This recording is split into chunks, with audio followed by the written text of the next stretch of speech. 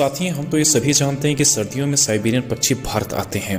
और आपको ये पता है कि उड़ने से पहले ये कितनी तैयारी करते हैं और प्रकृति भी इनका कैसे साथ देती है। आइए जानते हैं। रसिया के उत्तर में बसा साइबेरिया, जहाँ का तापमान माइनस चालीस डिग्री से भी नीचे रहता है। यहाँ का तेरह मिलियन स्क्वायर किलोमीटर का एरिया सर्दियों में बर्फ़ से ढका रहता है। यहाँ पर इंसानों का गुजारा तो हो जाता है, लेकिन पक्षियों का गुजारा यहाँ पर संभव नहीं है। यही वजह है कि हर वर्ष लाखों साइबेरियन पक्षी भारत की ओर रुख कर देते हैं, जिसमें सबसे अनोखा पक्षी है साइबेरियन क्रेन। आइए जानते हैं इसके कुछ इमेजिन फैक्ट के बारे में। साइबेरियन क्रेन एक ऐसा पक्षी है जिसे लार्जेस्ट माइग्रेट बर्ड कहा जाता है। अक्टूबर से मार्च के महीने में साइबेरिया के ठंड से बचने के लिए भरतपुर राजस्थान आते हैं और यहीं पर रहते हैं। पक्षी लगभग 4000 किलोमीटर की दूरी तय करके यहाँ पर आते हैं, फिर मार्च अप्रैल के बाद फिर दोबारा से 4000 किलोमीटर की दूरी तय कर साइबेरिया वापस लौट जाते हैं।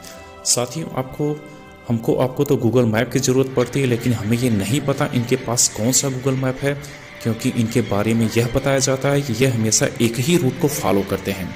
रास्ते में कहाँ कहाँ रुकना है, वो भी इनका तय है, और लगभग ये 200 सालों से ऐसा चला आ रहा है। रास्ते में पाकिस्तान रुकते हैं, कजाकिस्तान रुकते हैं, उज्बेकिस्तान रुकते हैं और रास्ते में ये तुर्कमेनिस्तान भी रुकते हैं। और इन देशों में कहाँ रुकना है ये भी इनका तय होता है।